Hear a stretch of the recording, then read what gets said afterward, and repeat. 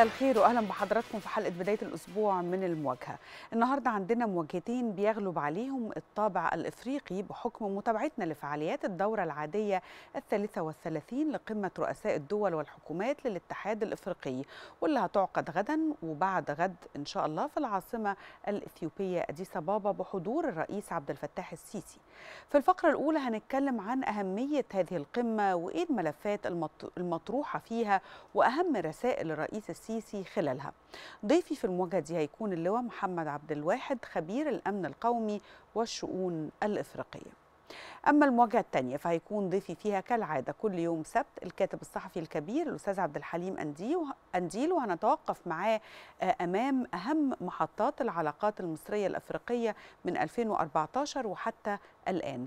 وكيف نجحت مصر خلال رئاستها للاتحاد الإفريقي في التعبير عن أهمية ومكانة القارة السمراء أمام العديد من المنتديات والمؤتمرات الدولية مما جعل مختلف القوى بتتنافس على الشراكة مع إفريقيا ومنها الولايات المتحدة الأمريكية روسيا الصين اليابان ثم فرنسا أيضا وألمانيا وأخيرا بريطانيا.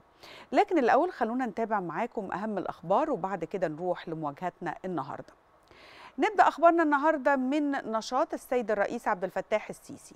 الرئيس شارك اليوم في قمة منتدى رؤساء دول وحكومات الآلية الإفريقية لمراجعة النظراء بالعاصمة الإثيوبية أديس أبابا وده ضمن مشاركته في قمة رؤساء الدول والحكومات للاتحاد الإفريقي في دورته العادية الثالثة والثلاثين واللي ستعقد على مدار غدا وبعد غد والتي من المقرر أن تشهد تسليم الرئيس السيسي رئاسة الاتحاد الإفريقي إلى دولة جنوب إفريقيا بحضور الرئيس الجنوب إفريقي. وقال السفير بسام راضي المتحدث الرسمي باسم رئاسة الجمهورية إن نشاط الرئيس في أديس أبابا يتضمن المشاركة في قمة مجلس السلم والأمن الإفريقي حول ليبيا وكذلك اجتماع الآلية الرئاسية المعنية بقضية الصحراء الغربية فضلا عن قمة منتدى رؤساء دول وحكومات الآلية الإفريقية لمراجعة النظراء. كمان سيعقد الرئيس على هامش القمة الإفريقية عدد من اللقاءات الثنائية مع رؤساء وقادة أفارقة وشخصيات دولية مشاركة في القمة. خلونا نشوف فيديو وصول الرئيس ونرجع نكمل مع حضراتكم.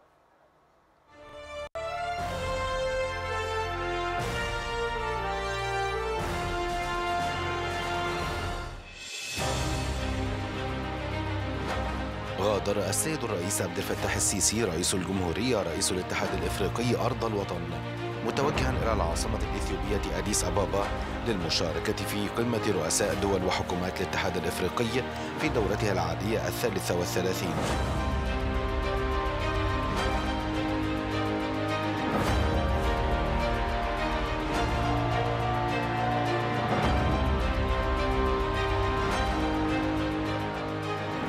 وصول سيادته أجريت مراسم الاستقبال الرسمية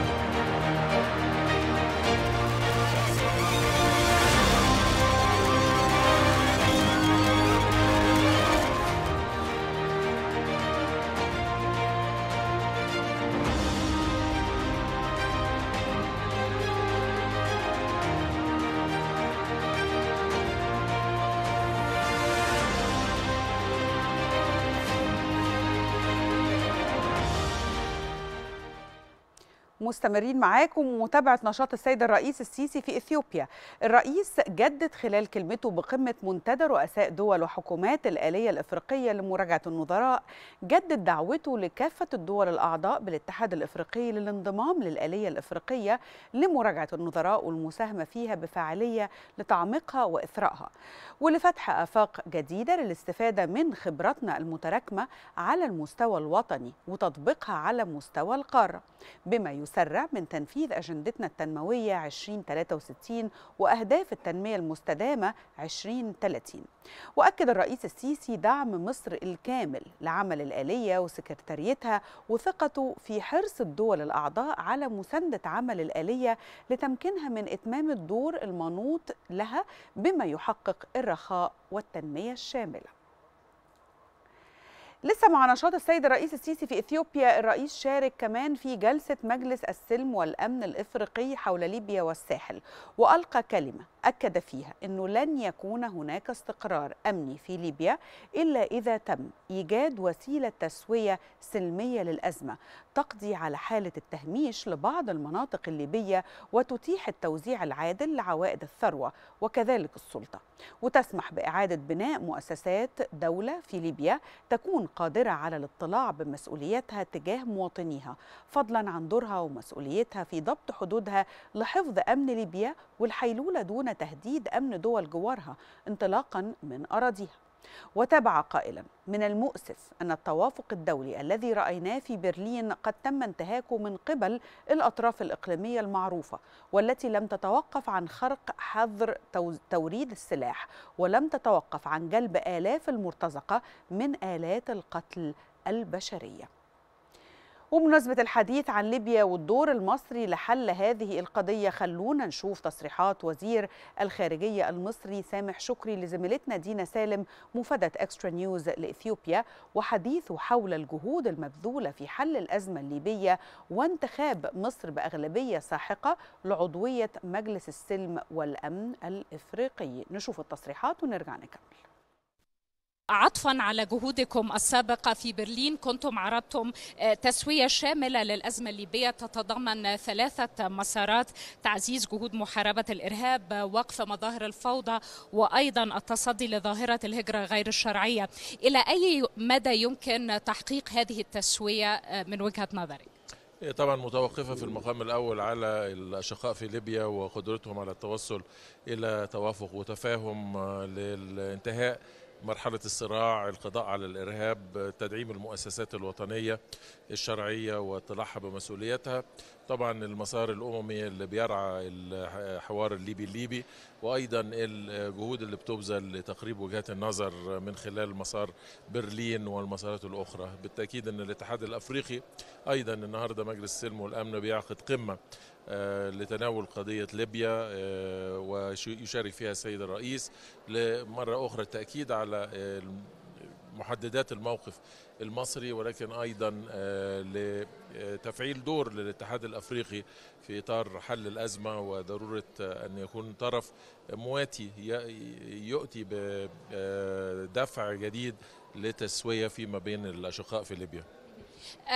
ماذا عن انتخاب مصر بأغلبية ساحقة لعضوية مجلس السلم والأمن؟ وسيكون هذا لمدة سنتين. إلى أي مدى سيسهل هذا من جهودكم الدبلوماسية لحل الأزمات المختلفة وعلى رأسها الأزمة الليبية؟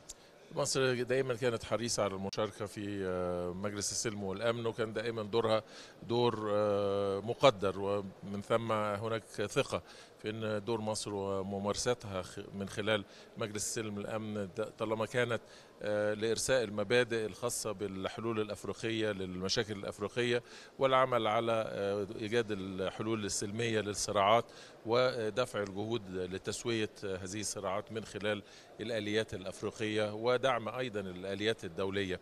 ستستمر دور مصر وافتكر أن النتيجة هي مرة أخرى تبرهن على الثقة اللي تضعها الأشقاء الأفارقة للدور المصري في أجهزة الاتحاد الأفريقي.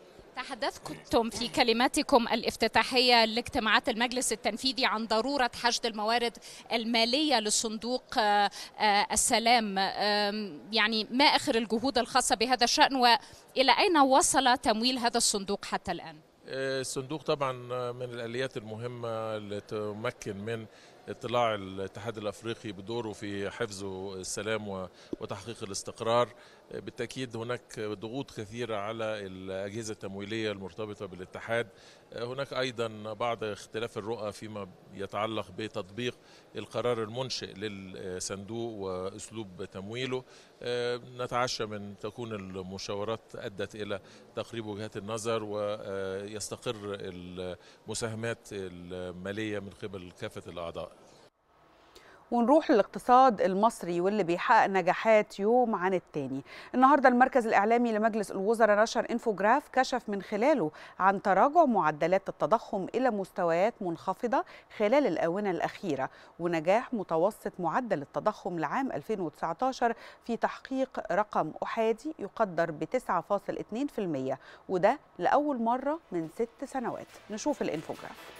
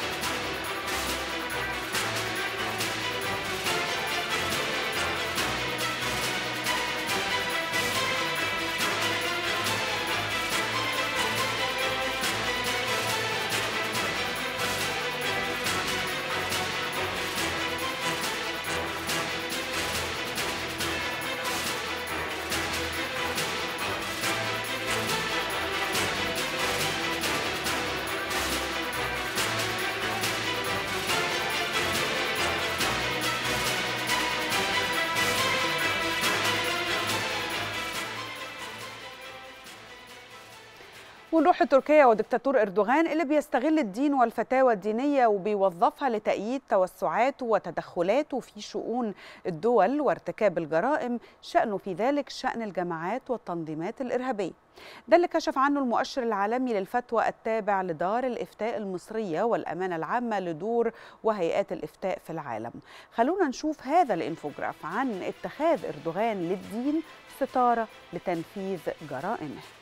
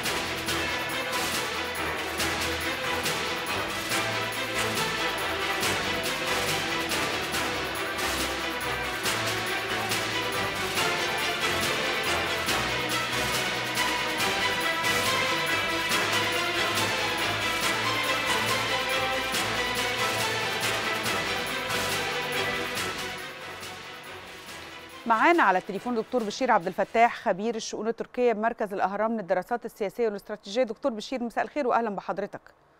مساء الخير على حضرتك يا أستاذة ريهام وعلى السادة المشاهدين الكرام. أهلا وسهلا. خلينا الأول يعني نعلق على هذا الإنفوجراف اللي عرضناه. شايف إزاي توظيف إردوغان للدين واستخدامه للفتاوى الدينية لتنفيذ مخططاته الاستعمارية وتدخلاته في شؤون الدول؟ الحقيقة إنه استغلال أردوغان للدين يستند إلى أمرين، اولا أردوغان بصفته حاكم ديكتاتور وغالبا أي ديكتاتور يميل إلى توظيف كل الأوراق الممكنة التي تتيح له البقاء في السلطة لأطول مدى زمني وسد الطريق أمام أي معارضة وطنية. الأمر الثاني أن أردوغان مرتبط بتيارات الإسلام السياسي وهذه التيارات تقوم بالأساس على توظيف الدين في السياسة، توظيف الدين لحشد المؤيدين والناخبين، توظيف الدين أيضا لإطفاء شيء من القداسة على مواقفها وتصرفاتها وسياساتها بما يحول دون وجود معارضة حقيقية لأن المعارضة في هذا الوقت لا تكون للحاكم أو لمن هو في السلطة وإنما تكون للدين أو لصاحب الدين وهو الذات الإلهية. وهذا يضع قيود على من يفكر في الاعتراض أو أو اللجوء إلى تغيير الحاكم بأي طريقة. لذلك استخدام أردوغان للدين هو أمر مرتبط به منذ بدأ حياته السياسية في حزب الرفاه الإسلامي الذي كان رئيسه نجم الدين أربكان ثم انشقاقه عنه في العام 2001 وتأسيس حزب العدالة والتنمية. الذي يعد مزيجا من الأحزاب الإسلامية ذات الجذور القومية بالأساس. وبالتالي هذا أمر ليس جديدا على أردوغان وإنما هو نشأ في حضن الإسلام السياسي ولا زال مرتبطا به فضلا عن ذلك دكتاتوريته الشديدة ورغبته في البقاء في السلطة. طيب إلى أي مدى ممكن نقول إنه فكر إردوغان يعني متسق تماما ومتفق مع فكر الجماعات المتطرفة بأساميها المختلفة وهي في الآخر يعني كلها جماعات تحمل أسماء مختلفة ولكنها وجوه مختلفة لعملة واحدة. للأسف تيارات الإسلام السياسي لها وجه تحاول أن تقدمه إلى العالم وهي أنها تمثل إسلام معتدل ولا تميل إلى العنف وتنبذ الفكر الجهادي التكفيري المتطرف.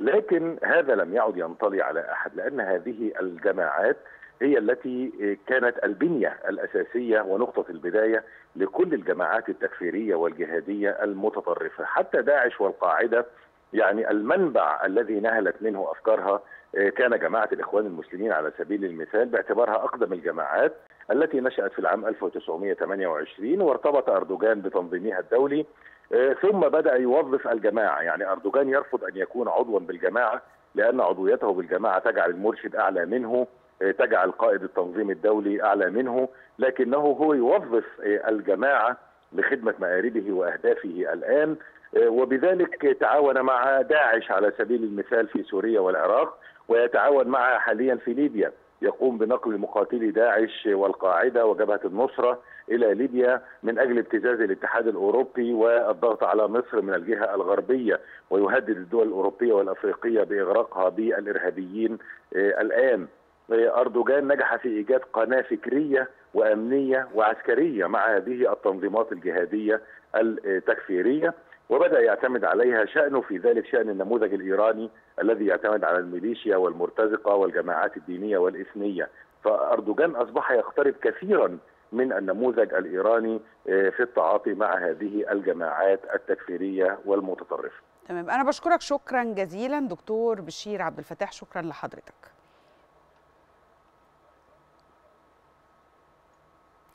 خلونا نروح نشوف هذا التقرير عن افتتاح فعاليات الدورة السابعة والعشرين من مسابقة الأوقاف العالمية للقرآن الكريم تحت رعاية الرئيس عبد الفتاح السيسي والمسابقة دي بيشارك فيها 85 متسابق من 63 دولة.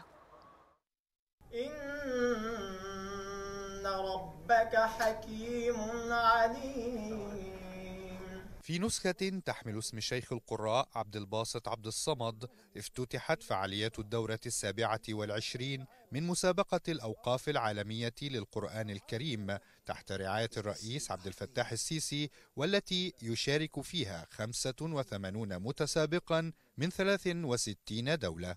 هذه المسابقة هي الأعلى تمثيلا في تاريخ المسابقات وصل عدد المتسابقين إلى 85 متسابقا من 63 دولة ومنها فرع خاص بالدول الأفريقية التي بلغت 30 دولة أفريقية لأول مرة.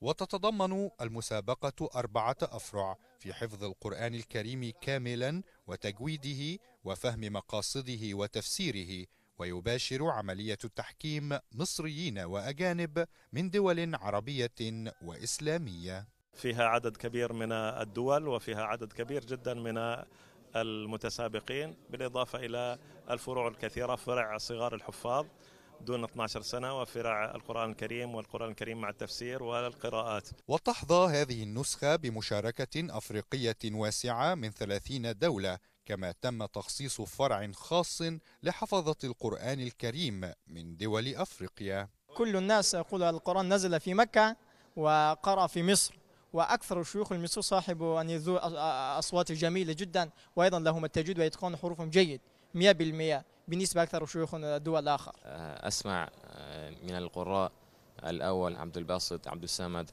وأيضا الشيخ الحصري وأيضا الشيخ المنشاوي نعم. هم يسمعون ما شاء الله بالتجويد وبالصوت ما شاء الله جيدا. أريد إن شاء الله في المستقبل أن أن أقرأ مثلهم. ويبلغ مجموع جوائز المسابقة التي تستمر فعالياتها حتى الثالث عشر من فبراير الجاري مليون ومائتي ألف جنيه كما سيتم تكريم الفائزين من قبل رئيس الجمهورية في احتفالية مصر بليلة القدر بحضور دولي ومحلي دلوقتي هنروح لفاصل وبعد الفاصل نبدأ مواجهتنا الأولى عن أهم رسائل الرئيس عبد الفتاح السيسي النهارده خلال كلمته في افتتاح قمة منتدى الآلية الإفريقية لمراجعة النظراء بأديس أبابا على هامش القمة الثالثة والثلاثين لرؤساء الدول والحكومات للاتحاد الإفريقي. لكن الأول هسيبكم مع هذا التقرير عن ذكرى ميلاد الفنانة الكبيرة حبيبة مصر والمصريين شادية ونبذه عن أهم أعمالها ومحطتها الفنية. استنونا بعد الفاصل.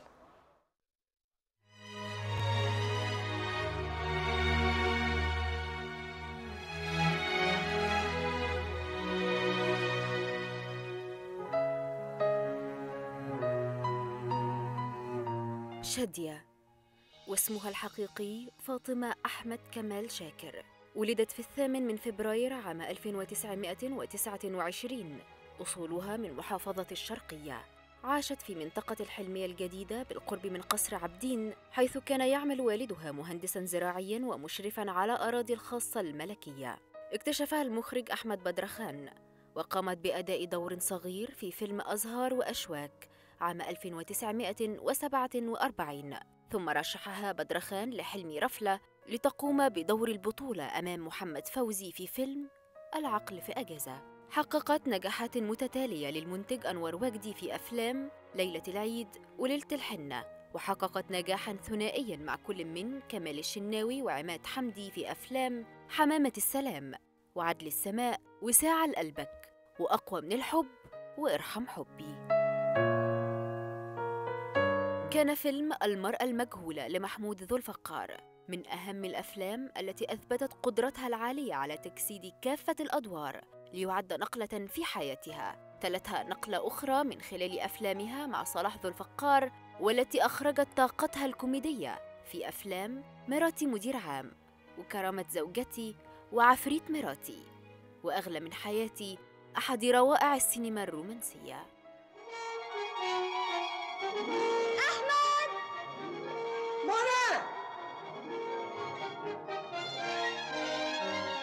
منى منى منى حياة قلبي. نضج أداء شادية في أفلام مأخوذة عن رواية الكاتب العالمي نجيب محفوظ. هي اللص والكلاب. زقاق المدى الطريق وميرامار. الإنسان لما يشوف الوحش هيكتشف لوحده إيه هو الكويس. ما تخافش عليا يا أستاذ عامر. ما ترجعي البلد يا زهرة. أرجع تاني. وزاد نضجها الفني في أفلام شيء من الخوف ونحن لا نزرع الشوك. أنا ليا طلب صغير. اطلبها يا سيدة تحت أمرك. أنا أنا ماليش حد يقف جنبي. عايزاك يوم فرحي. من غير ما تقولي. أنت ما تعرفيش معزتك عني.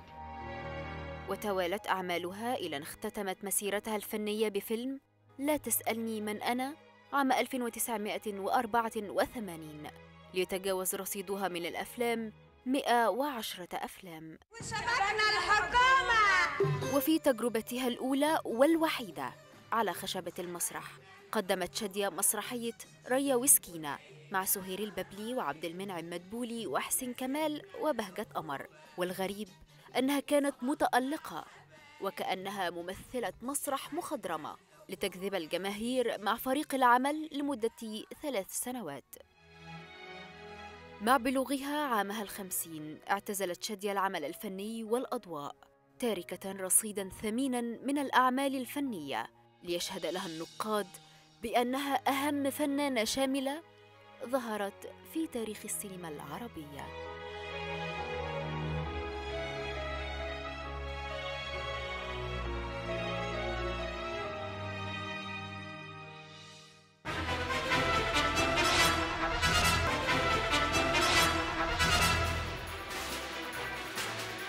مساء الخير وأهلا بحضراتكم مرة تانية في المواجهة دي هنتكلم عن فعاليات الدورة العادية الثالثة والثلاثين لقمة رؤساء الدول والحكومات للاتحاد الإفريقي واللي بتعقد يوم 9 و10 فبراير الجاري في العاصمة الإثيوبية أديس أبابا بحضور السيد الرئيس عبد الفتاح السيسي.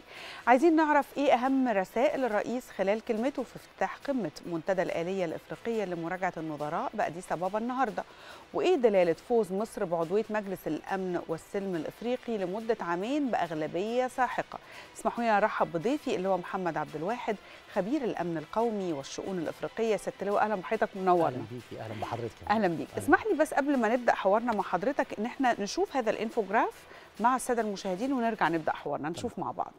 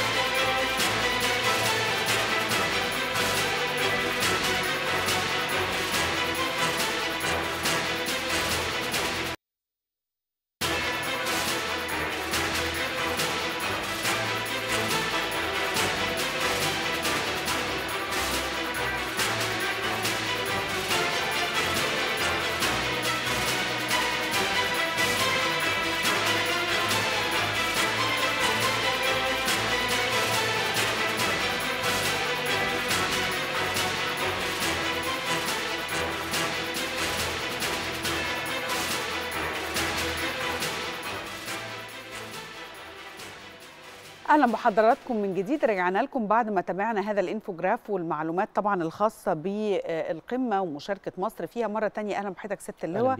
والحقيقة أنا عايزه أبدأ من تفاصيل مشاركة السيد الرئيس السيسي في قمة منتدى الآلية الإفريقية لمراجعة النظراء بأديس أبابا من خلال كلمته. الحقيقة نتوقف عن عند جزء من اللي قاله السيد الرئيس لما قال إن الآلية الإفريقية لمراجعة النظراء تأسست على إرادة إفريقية خالصة ولا تخضع لتدخلات من داخل أو خارج القارة. الأول اشرح لنا يعني إيه هي قمة منتدى الآلية الإفريقية لمراجعة النظراء؟ إيه هي؟ يعني إيه هو الهدف من القمة دي؟ و و وإيه اللي بيقصده الرئيس بهذا التصريح؟ اولا هي آلية مراجعة النظراء ديت تحت مظلة الاتحاد الإفريقي. عندما تحدثنا في قمة دربن في عام 2003 تناولنا إن إحنا ننشئ آلية زي ديت. الآلية ديت هي عملية تقييم لكل دولة كل دولة هي اللي تعمل التقييم بنفسها من خلال معايير معينة. في لجنة للآلية ديت بتدي معايير لكل دولة والدولة بتملى هذه البيانات وبتجاوب على الحاجات بتاعتها ونبتدي في الآخر نقيم إيه حجم المشاكل سواء مشاكل متعلقة بالحوكمة مشاكل متعلقة بالإدارة في السياسة وغيرها. مصر انضمت لهذه الآلية في 2004 في مارس 2004 تحديدا. وجه وفود كثيرة من هذه الآلية لجان جت زارت مصر. ومصر مرحبة. مصر بترقص برضو هذه القمة. القمة تبدأ بكرة. القمة الإفريقية تبدأ بكرة. ولكن على هامش القمة النهاردة كان في قمتين مصغرتين. واحدة خاصة بالآلية والتانية خاصة بمجلس السلم والأمن الإفريقي. آه الآلية سيادة الرئيس دعا بقية الدول أنها تنضم لأن في دول آه رافضة الانضمام لهذه الآلية باعتبارها أنها بتنظر إليها على أنها تدخل في الشأن الداخلي أو أنها تتحدث عن مشاكلها آه خاصة المتعلقة بحقوق الإنسان أو المتعلقة بالحوكمة وما شابه هذا. في كلمة مجلس السلم والأمن سيادة الرئيس تطرق إلى مشكلة ليبيا. وتناول يعني الأجندة المصرية اللي تم وضعها من خلال مؤتمر برلين والمشاركة المصرية الفعالة اللي تمت بخلال الأزمة الليبية وعمل مقاربة ما بينها وما بين دول الساحل الخمسة خاصة أن في حدود مشتركة كتير أكيد. لليبيا مع الجنوب سواء تشاد أو النيجر آه إحنا هنروح لليبيا طبعا وهنروح للسلم والأمن ولكن وإحنا لسه مو يعني موجودين في الجزئية الخاصة بمنتدى الآلية الإفريقية سيادة اللواء الرئيس كمان طالب يعني بالسرعة في تحقيق أو الاتجاه تجاه أهداف التنمية للقارة الإفريقية 2063 وأهداف التنمية المستدامة 2030 أهمية المطالبه دي إيه في رأيك؟ بص يا فندم الأجندة 2030 أنا برضو عايز أبسط الموضوع للسادة المشاهدين. الأجندة القاره الإفريقية 2063 إحنا في 2013 طبعا عارفين إن منظمة الوحدة الإفريقية تم انشائها سنة 63 بعد 50 سنة أثناء احتفال الاتحاد الإفريقي بمرور 50 سنة على تأسيسه يعني 2013 الدول الإفريقية كان عندها تطلع إن يحصل عملية تطوير للاتحاد الإفريقي وإنها تطور من شعوبها ويعيش حياة رفاهية أكثر من اللي هو عايشها. وبدأوا يضعوا خطة لمدة 50 عام أخرى من 2013 و50 عام يبقى 2063 وسميناها أجندة القارة 2063 فيها ملفات كثيرة جدا منها ما هو الشق ال ال السياسي اهتمت بيه واهتمت إن يبقى فيه كلمة إفريقية واحدة اتكلموا على أهمية التشاور فيما بينهم بحيث أن يبقى في رأي إفريقي موحد.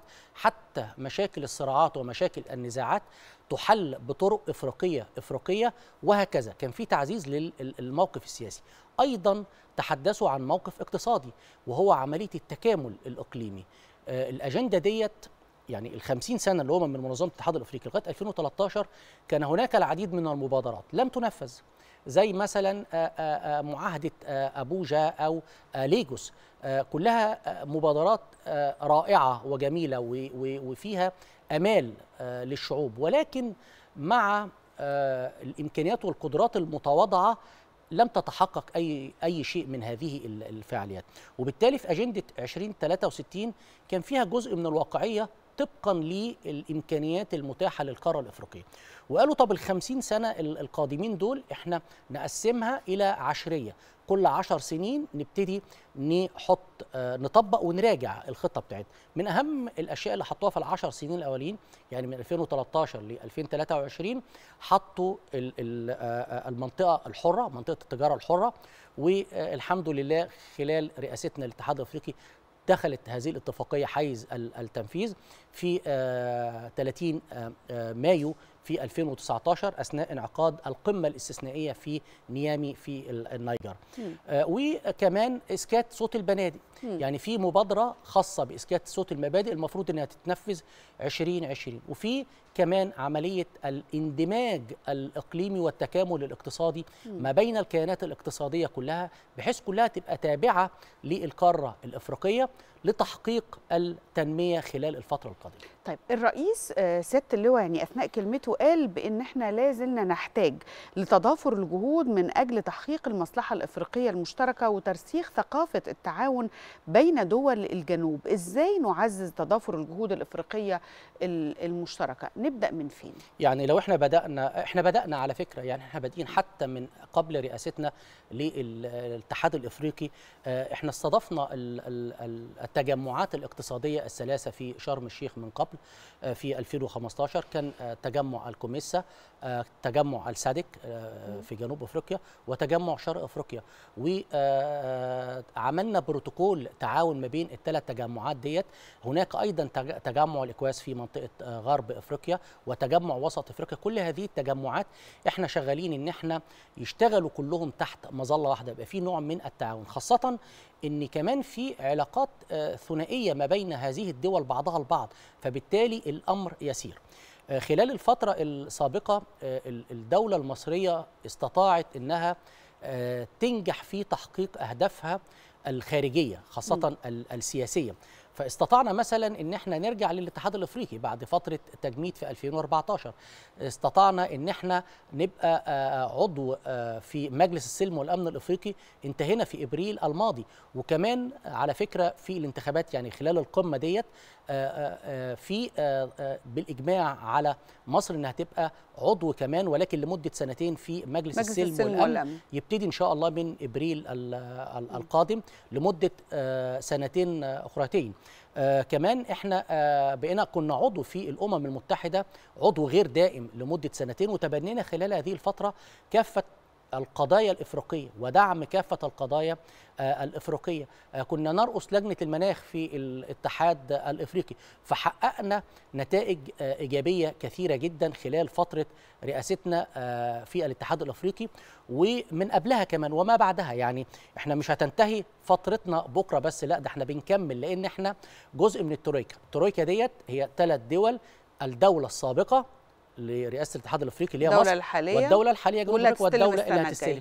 فإحنا عضو في الت- الترويكا نفسها وبالتالي إحنا بنباشر وبننسق آه، خلال الفترة القادمة وبنقدم التقرير بتاعنا خلال ال 2019 وبنبتدي نتابع مع جنوب أفريقيا يعني هي سلسلة خطوات وكل دولة بتيجي بتكمل خطوة على الدولة ال- التي سبقتها. ممتاز. طيب القمة بتعقد تحت شعار زي ما حضرتك كنت بتتكلم دلوقتي سيادة اللواء إسكات البنادق. كلمني عن الشعار ده وأهميته وكلمني عن التحديات اللي بتواجه القمة يعني هذا العام. آه، طبعا هو أهم تحدي بيواجه ال- القارة الإفريقية هي عملية الصراعات المسلحة. لأنها بتعد واحدة من أخطر التهديدات اللي بتهدد السلم والأمن وبناء السلم في القارة وبتعوق آه، عمليات ال- التنمية في القارة ال- الإفريقية. ومن ضمن أجندة القارة الإفريقية زي ما تناولنا إنها حطت آه، إيقاف صوت البنادق على أولوية هذه الأجندة عشان أقدر أعمل عمليه تنمية وأقدر أعمل مشاريع تنموية أقدر أشتغل في البنية التحتية. طول ما في صراعات في دولة أنا ما أقدرش أعمل طرق وما أقدرش أعمل مشاريع تجارية. المستثمر يخاف. فبالتالي كان من المهم جدا إن إحنا نعمل عملية إسقاط اسكات البنادق 2020 أنا شايف إنه تحدي كبير لأن اسكات صوت البنادق يعني اسكت الصراعات. الصراعات في إفريقيا الحقيقة هي صراعات معقدة للغاية ليست بال- بالسهولة. لأنها آه، أسبابها لها أسباب عديدة منها مثلا آه، آه، إشكاليات آه، داخل البيئة الداخلية لل- للمجتمع الإفريقي نفسها زي آه، سواء ممكن أرجعها إلى أسباب تاريخية مرتبطة بحدود مشتركة ما بين آه، دول آه، نزاع على السلطة آه، نظام الحكم آه، الإفريقي في ال- الدولة. كل هذا بيؤدي إلى صراعات في ال- الداخل. وأيضا في عوامل خارجية بت- بتؤثر على ال- الصراع. وتفاعل الداخل مع تفاعل ال- ال- ال- الخارج بيؤدي إلى استمرار النزاع. وخير دليل على ذلك مثلا الأزمة في ليبيا. آه، هناك دول كثيرة جدا متورطة سواء دول في نطاقها الإقليمي أو دول على قمة النظام الدولي أو دول كمان خارجية من خارج الإقليم. فكلما زادت عدد الدول المتداخلة آه، تزداد ويصعب حل الأزمة على المدى القريب. طيب هو من المنتظر طبعا إن الرئيس السيسي سيترأس الجلسة المغلقة آه، في أول أيام القمة اللي هيسلم من خلالها رئاسة القمة لنظيره آه، الجنوب إفريقي. يعني طبعا رامافوزا ال- اللي هيكون يعني رئيس القمة للعام المقبل للعام القادم رئيس الاتحاد. قول لي تقييمك إيه يعني للفترة اللي مصر آه، قادتها كرئيس للاتحاد الإفريقي يا ست اللواء اولا ال- الدولة المصرية استطاعت فعلا إنها تحقق من آه، نجاحات كبيرة في مجال سياستها الخارجية آه، من خلال تحركاتها الجادة في مجالها الحيوي سواء الإقليمي أو الدولي. استطاعت أنها تسخر كافة إمكانياتها لخدمة الصالح الأفريقي لدعم التنمية لدعم آه، وتعزيز عملية التكامل الاقتصادي والتكامل الإقليمي في ال- القارة ولم تبخل على دول القارة في آه، أي شيء. ال- الجزء الثاني مصر دعمت عززت من علاقاتها سواء على المستوى الثنائي مع دول القارة أو على المستوى المتعدد. مصر آه، استضافت العديد من المؤتمرات والفعاليات في في مصر خاصة بأفريقيا يعني أكثر من 30 فعالية خلال هذه ال- ال- السنة. آه، منها مثلا أفريقيا 2018 أفريقيا 2019 آه، منتدى أسوان للتنمية وكان أول منتدى يعقد في آه، في في في القارة نفسها وفي منطقة الشرق الأوسط مم. يتناول ال- السلم والأمن والتنمية. الثلاثه مع بعض آه، سواء من منطلق آه، عملي تمام. مع ال- الممارسات السياسية. طيب هن- هنرجع نكمل بس اسمح لي معانا هذا الخبر العاجل آه، ونروح لمتابعة النشاط الرئاسي في أديس أبابا النهارده السفير بسام راضي المتحدث باسم الرئاسة. قال إن الرئيس السيسي التقى مساء اليوم مع السيد جاستن آه، ترودو وهو رئيس وزراء كندا وده في مقر إقامة سيادته في أديس أبابا. وصرح المتحدث الرسمي باسم رئاسة الجمهورية بأن السيد الرئيس أعرب عن ترحيبه بلقاء رئيس الوزراء الكندي مشيرا سيادته إلى اعتزاز مصر بعلاقتها مع كندا ومؤكدا أهمية العمل على ترسيخ تلك العلاقات على كافة الأصعدة السياسية والاقتصادية والتجارية بما يصب في تحقيق المصالح المشتركة للبلدين لا سيما في ظل الزيارات رفيعة المستوى المتبادلة مؤخرا بين الجانبين والتي أسفرت عن نتائج إيجابية نحو تأكيد أهمية التنسيق والتشاور المتبادل. من جانبه أكد رئيس الوزراء الكندي سعادته بلقاء السيد الرئيس مشيدا بما حققته مصر خلال السنوات الماضية من تقدم ملموس على صعيد الإصلاح الاقتصادي وتحقيق التنمية الشاملة ومؤكدا حرص بلاده على تعزيز علاقاتها مع مصر خاصة مع ما تمثله كركيزة محورية لاستقرار وأمن كل من الشرق الأوسط والبحر المتوسط وإفريقيا فضلا عن تطلع كندا لمواصلة التنسيق والتشاور مع مصر لتطوير مظاهر التعاون الثنائي بين البلدين في شتى المجالات.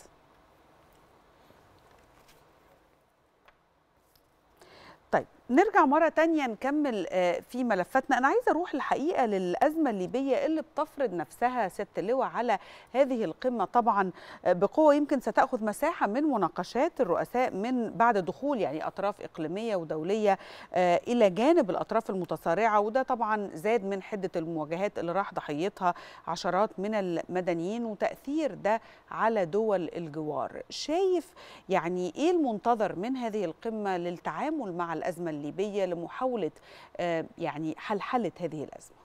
اولا مصر بتتابع عن كثب ما يحدث على الأراضي الليبية لأن ليبيا هي عمق استراتيجي ليا فاعل خلال الفترة السابقة وبالتالي هي أمن قومي لمصر خاصة من منطلق أن أنا لدي حدود مشتركة معها أكثر من 1200 كيلو متر في حدود مشتركة.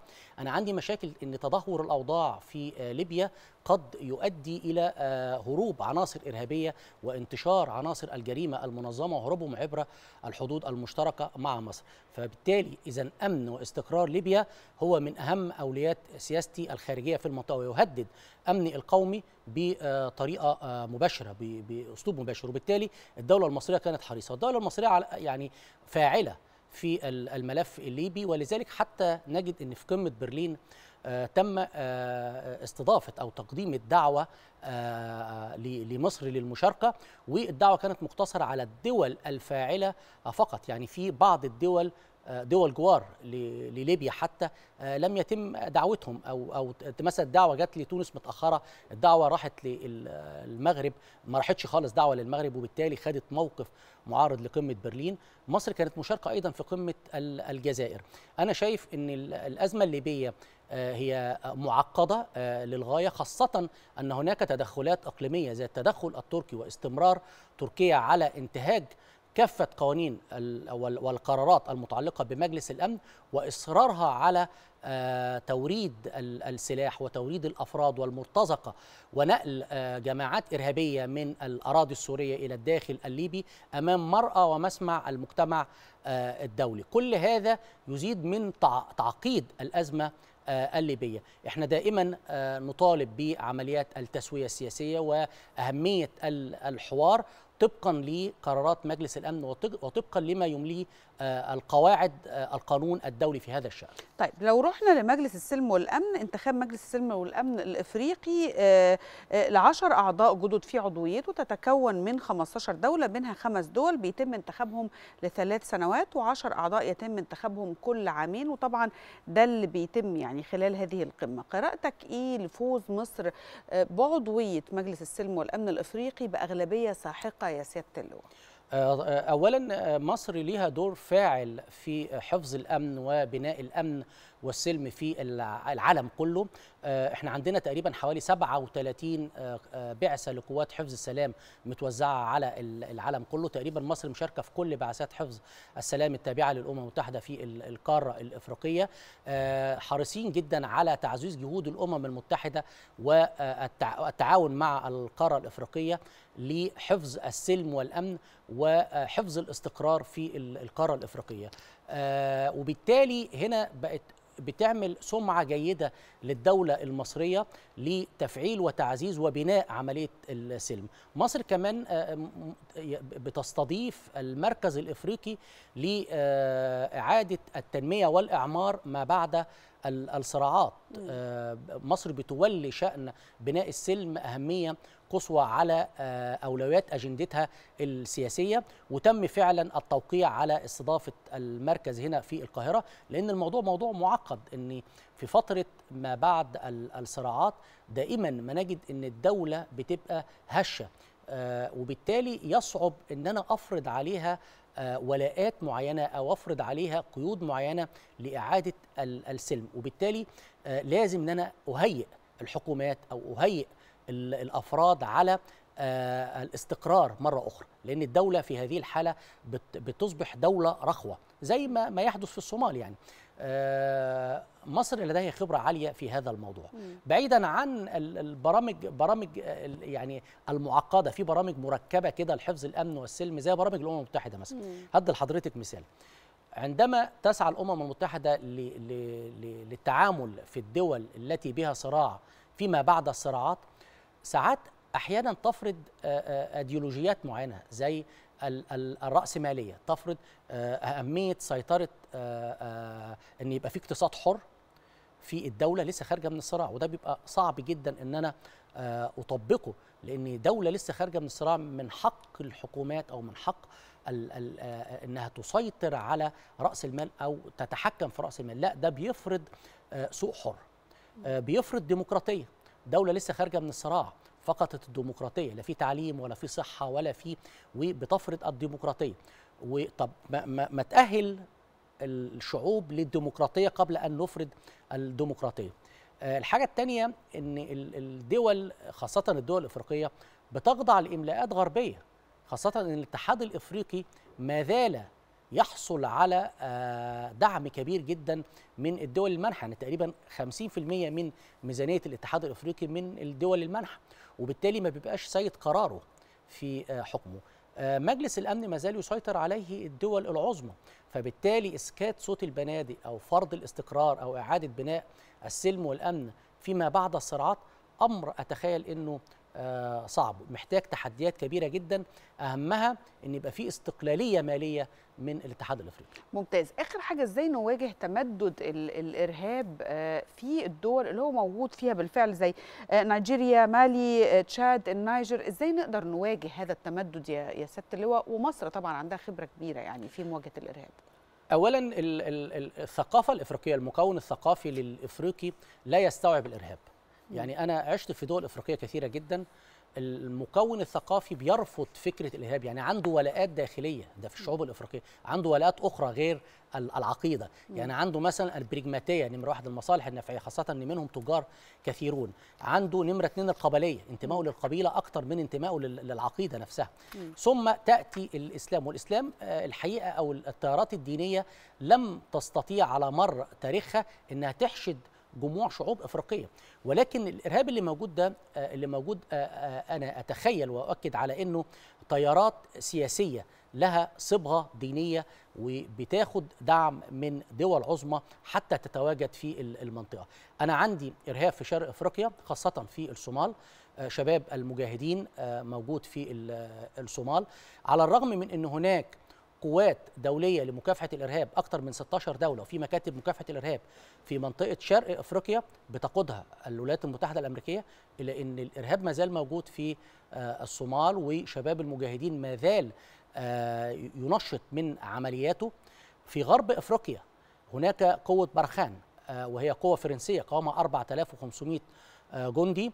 وبعدين صدق ال- ال- الرئيس آه، الفرنسي ماكرون خلال آه، اجتماع آه، من ثلاثة أسابيع على أنه يزود عدد القوات 200 تاني يبقى 4700 في قاعدة أمريكية في النيجر للطيارات المأهولة الطيارة بدون طيار في النيجر ولكن مع ذلك آه، هناك إرهاب.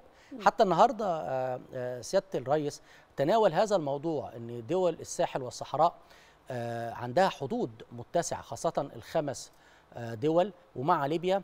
فالإرهابيين بيلاقوا في هذه الأراضي ملاذ جيد وبيئة حاضنة للعمليات الإرهابية وبيئة حاضنة للجريمة المنظمة اللي هي بتمشي بالتوازي مع العمليات الإرهابية. عشان ال- الجماعات الإرهابية تجد آه، دعم مادي من خلال ال- هذه. العمليات.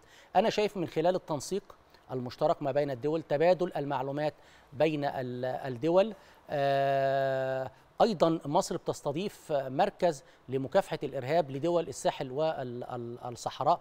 بندي فيه آه، دورات تدريبية. بنستطيع إن إحنا نساعد آه، ال- دول القارة الإفريقية من خلال توفير المعلومات وتبادل المعلومات في هذا الشأن وتحديث البيانات.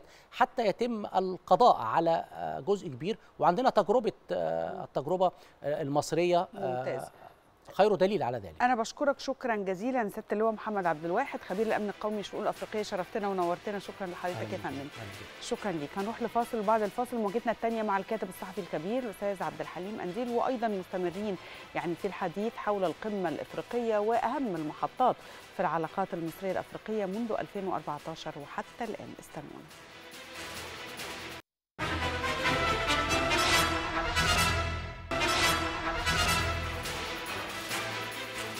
أهلا بحضراتكم من جديد. في المواجهه دي هنعمل قراءة في أهم محطات العلاقات المصرية الإفريقية منذ عام 2014 وحتى الآن.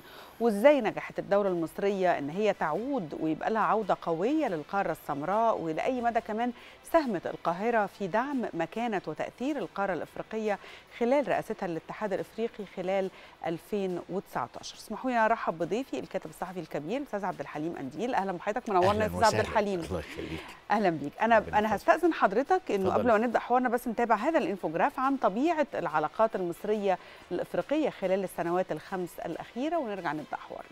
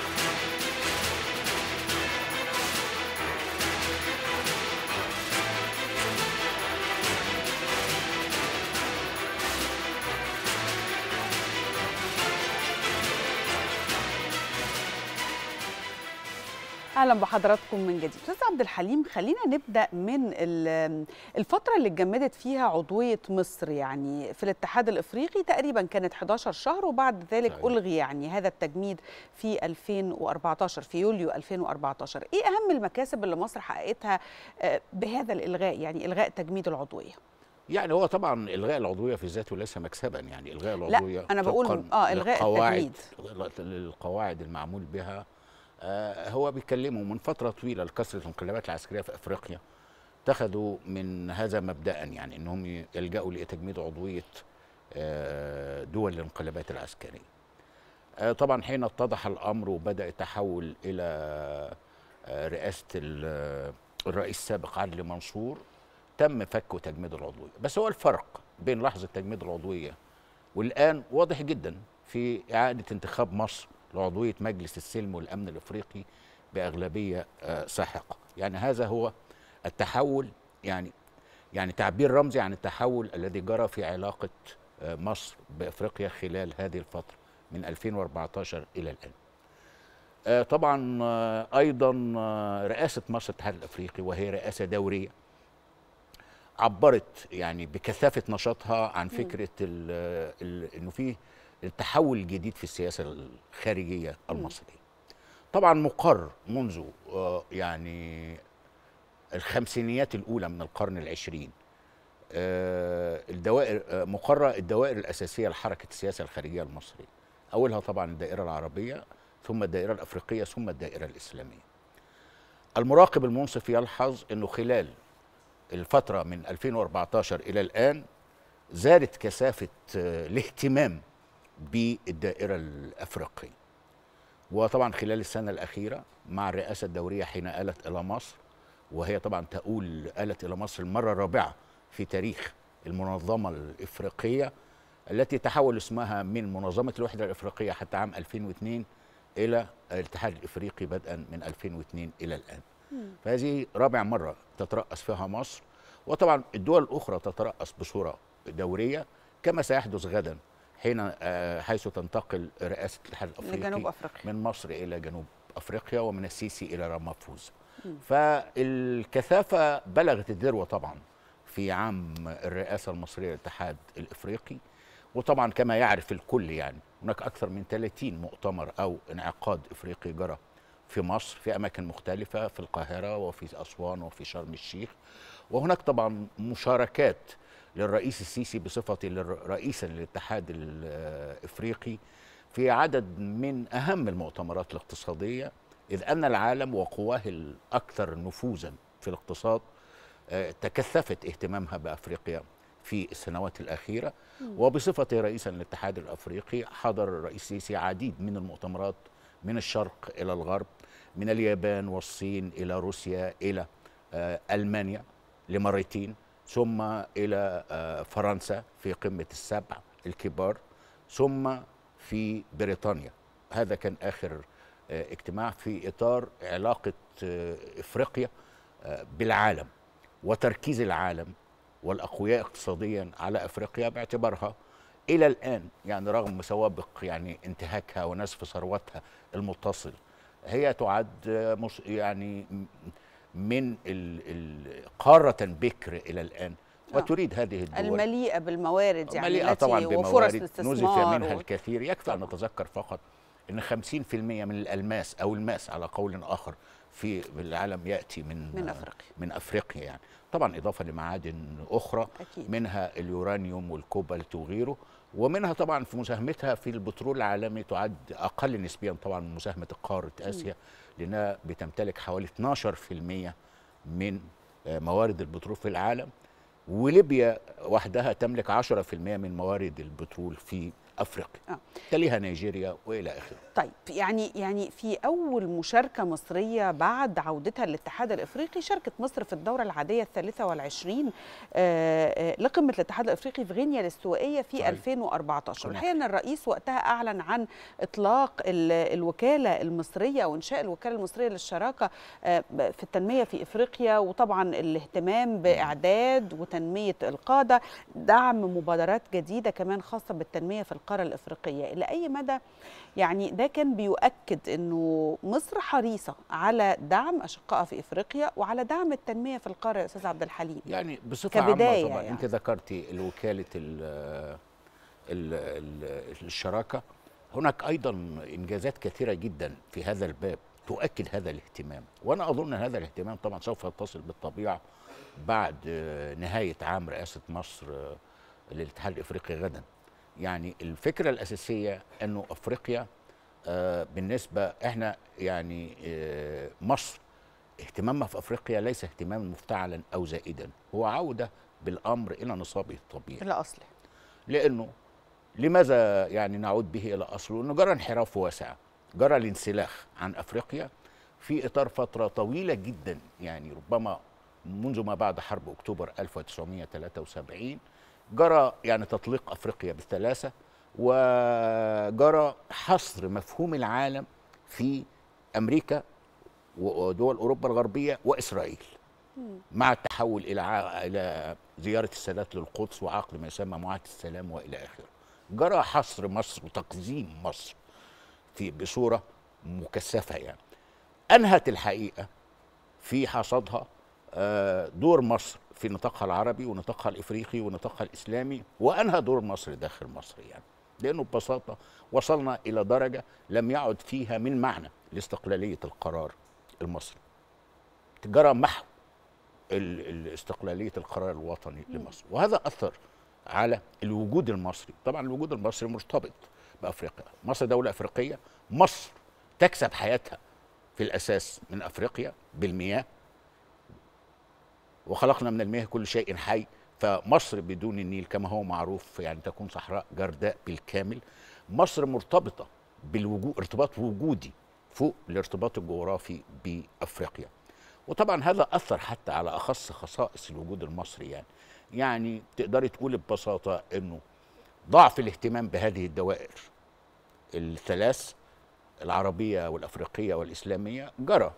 منذ اواسط السبعينات وطبعا تأكد بعد آه، ما جرى من إخراج مصر من جامعة الدول العربية عقب كامب ديفيد وإلى آخر تطورات الحقيقة عصفت بالدور المصري التقليدي القيادي في المنطقة العربية وفي المنطقة الأفريقية.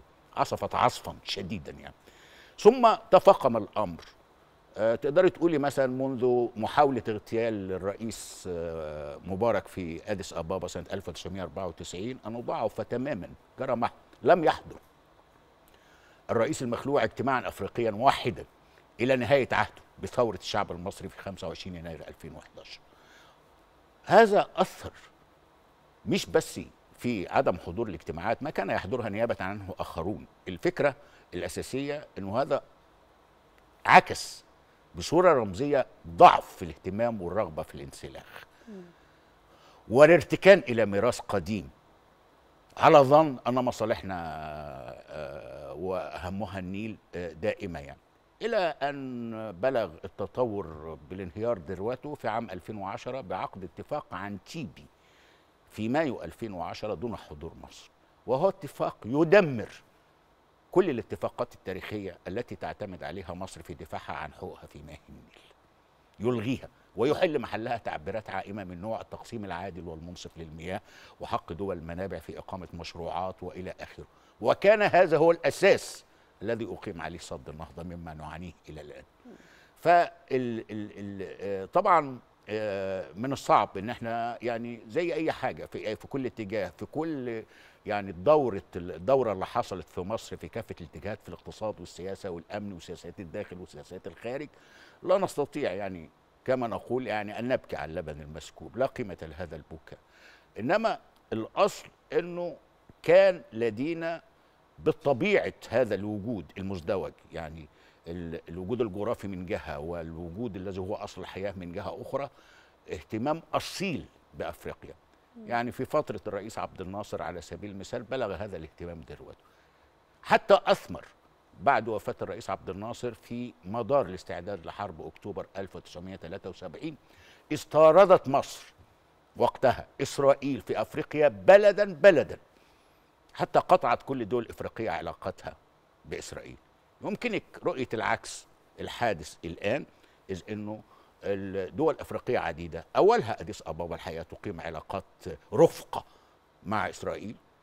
اثنين علاق دول أخرى كبرى طبعا أو أو كبرت في غيبتنا عن سباق العالم زي الصين مثلا. لها النفوذ الأوفر في إفريقيا من زاوية الاقتصاد. وفي طبعا دول ذات تاريخ استعماري في أفريقيا كبريطانيا وفرنسا لها دوائرها.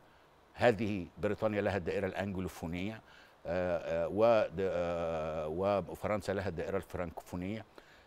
حتى تركيا نشطت في أفريقيا ولا تزال تنشط بصورة أكثر كثافة من مصر بكل معيار. في ظل هذا الوضع القضية مش قضية عودة الاهتمام بأفريقيا بس عودة الاهتمام بمصر.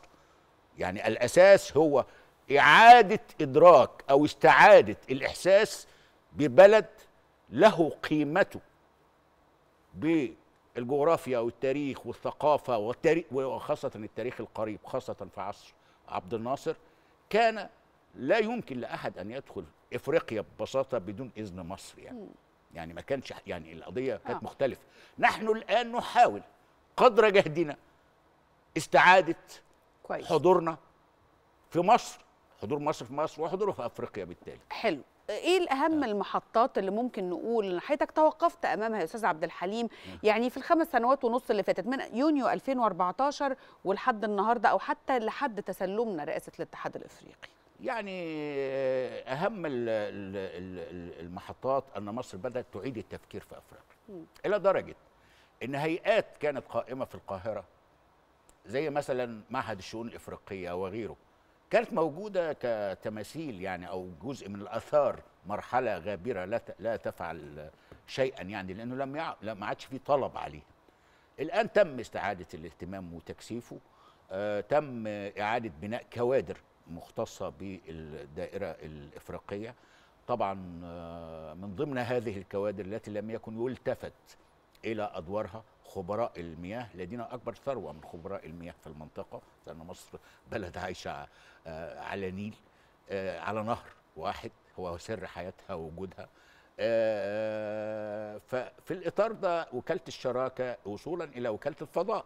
يعني علينا أن ندرك إن إضافة المركز الدولي للإعمار القائم في القاهرة آه، في إطار مبادرات إسكات البنادق أو كذا. وطبعا هذه مسألة معقدة جدا في أفريقيا لأنه أفريقيا كلها كانت مستعمرات جرى رسم حدودها من قبل الدول الاستعمارية السابقة بال- بالقلم والمسطرة يعني.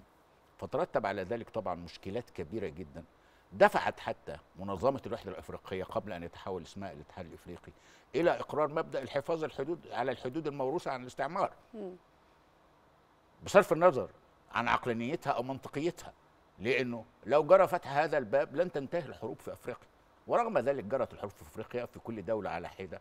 طبعا التخلف الاجتماعي التاريخي ال- آه، دول افريقية كثيرة لا زالت قائمة على الأساس القبلي.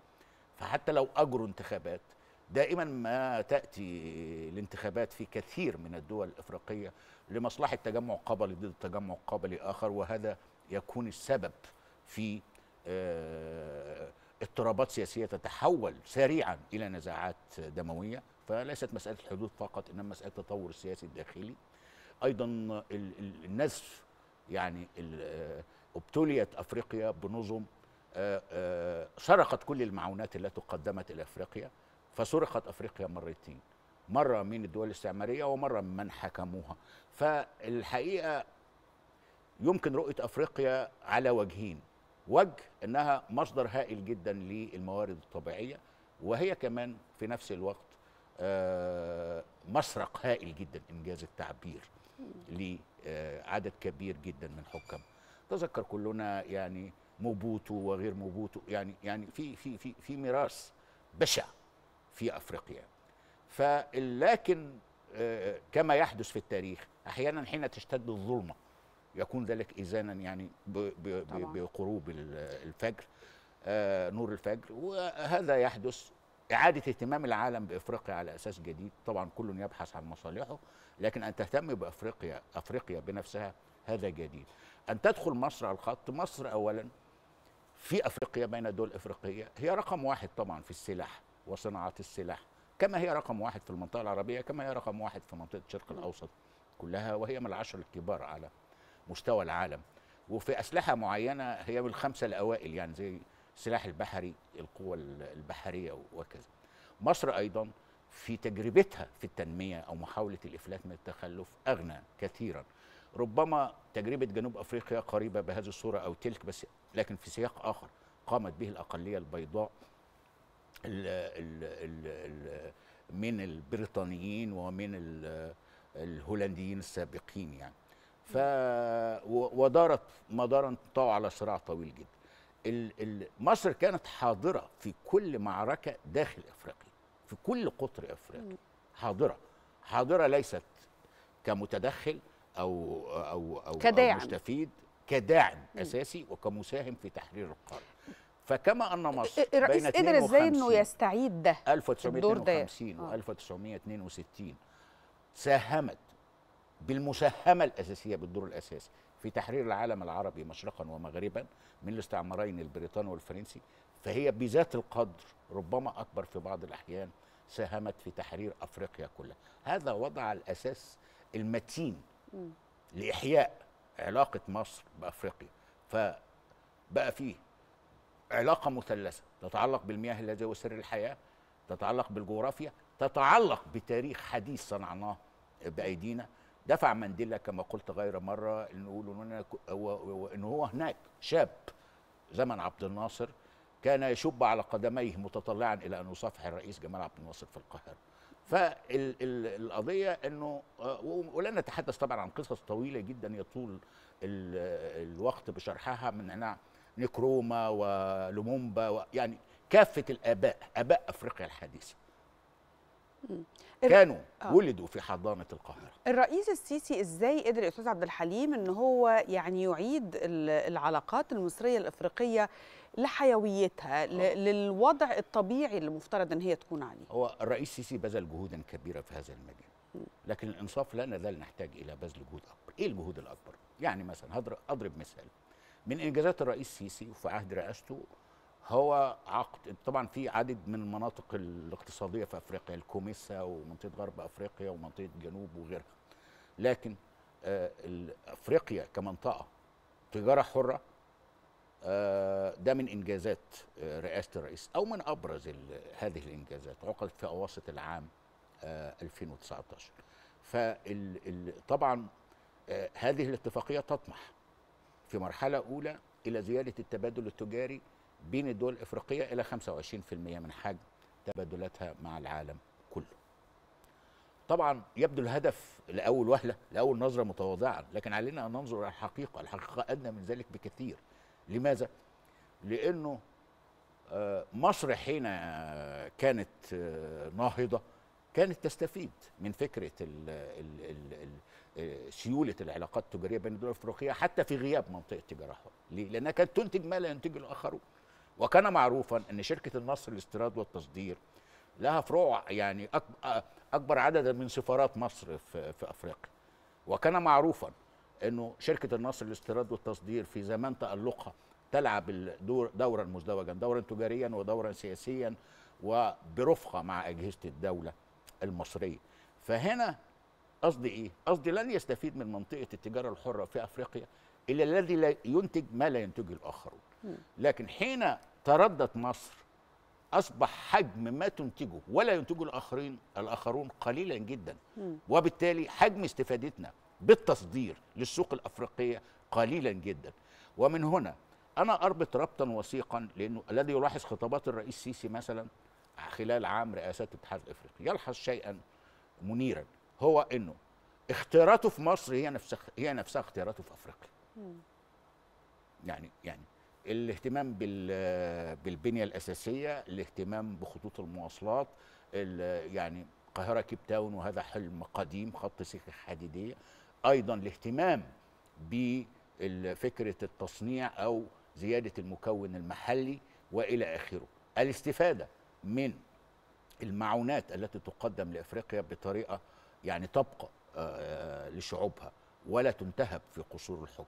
فهذا هذه الاتجاهات أنا أعتقد إنه في اتساق يعني مع ذاته في في الخمسينات. والستينات كان موقفها في التحرير. منطلقا من رؤيتها في الداخل كسب الاستقلال الوطني الجامع الذي هو ليس علما ونشيدا فقط وإنما حرية صناعة القرار الاقتصادي والسياسي والثقافي هو يريد أن يطبق نفس النظرة آه، طبعا آه، ولذلك تجدي إنه في تجد إنه مصر حتى رغم تدهورها طبعا لا زالت في وضع أفضل من آه، لوقت ما كانت جنوب أفريقيا في المركز الأول آه، لكن مصر تجاوزت آه، آه. جنوب أفريقيا طيب الآن آه فهنا مصر مثلا في بعض ال- القطاعات الناهضه كصناعات السلاح مثلا في الهيئة العربية للتصنيع وفي مصانع الإنتاج الحربي وجدت اسواقا أفريقية متزايدة.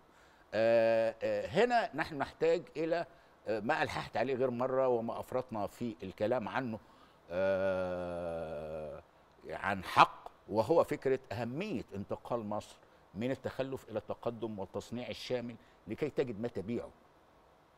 لكي تجد ما تبيعه إن كانت تريد استفادة اقتصادية. طيب طبقا للهيئة العامة للاستعلامات في 2018 زيارات الرئيس السيسي في أربع سنوات آه، لدول إفريقية في مناسبات آه، إفريقية مختلفة في أربع سنين بلغت 21 زيارة آه، مما يمثل 33% من زيارات الرئيس الخارجية. شايف آه، الرقم تلت- تلت تلته يعني تلت آه زياراته الخارجية. شايف ده إزاي؟ تعبير عن كثافة الاهتمام. مم.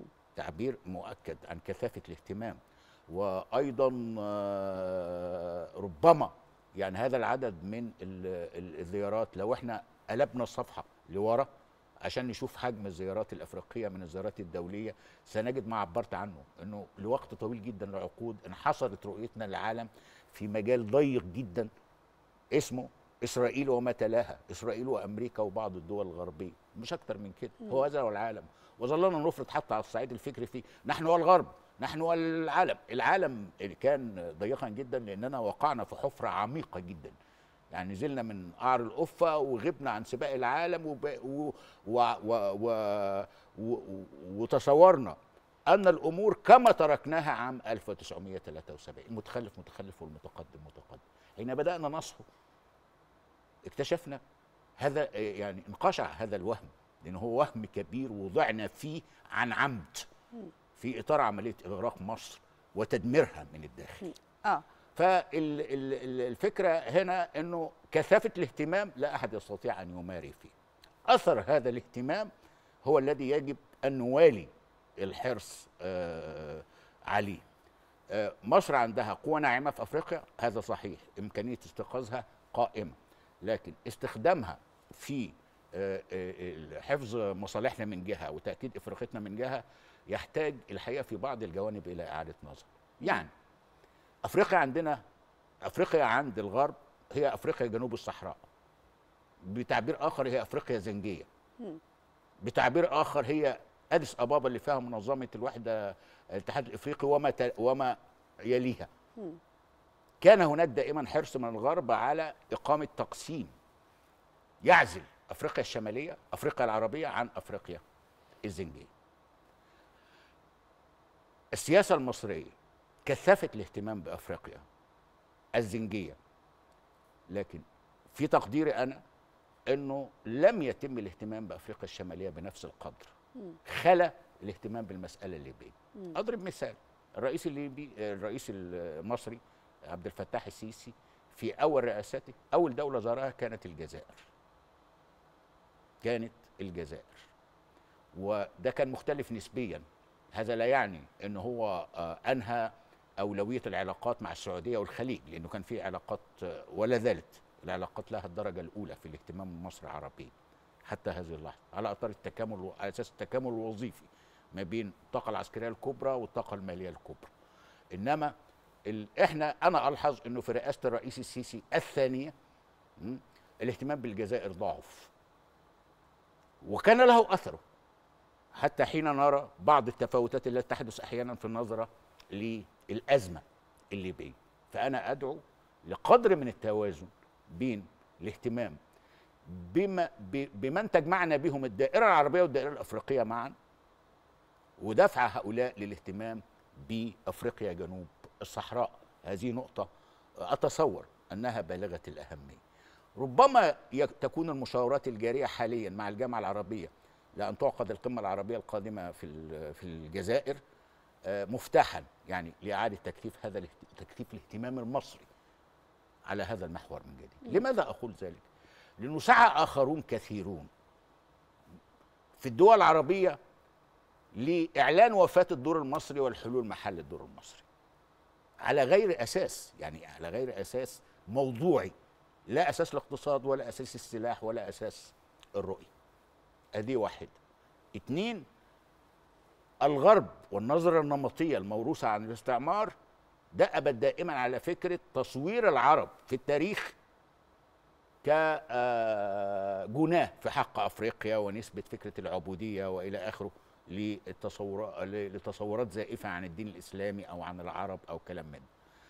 طبعا الحقيقة التي يعرفها تعرفها أفريقيا جنوب الصحراء قبل غيرها أن المستعبدين الأساسيين لهم بالمعنى الحرفي وبالمعنى الاقتصادي وإلى آخره هو الغرب بدءا بأمريكا.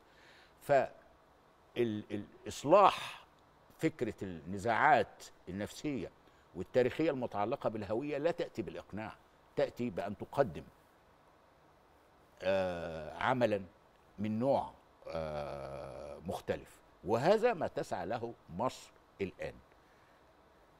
لكن دعوتي الاهتمام بشمال أفريقيا العربي.